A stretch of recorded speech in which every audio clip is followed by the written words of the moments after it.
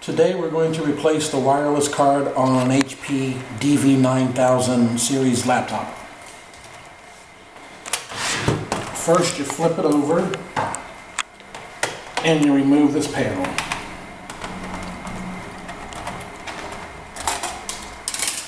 Then the wireless card is here.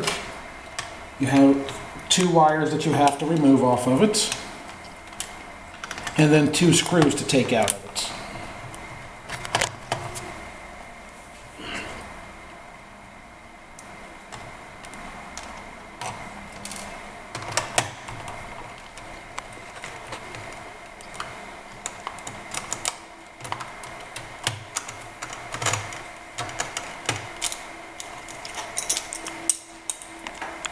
you that wireless card to the side.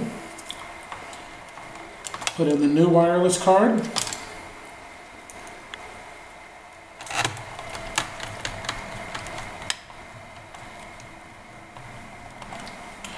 Put your two screws back in.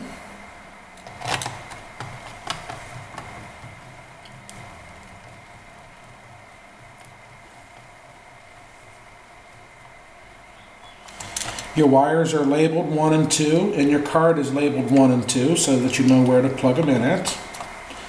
They just snap right back into place.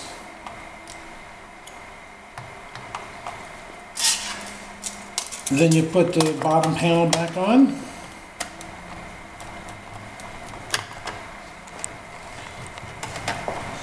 And you're good to go. Your wireless card is replaced.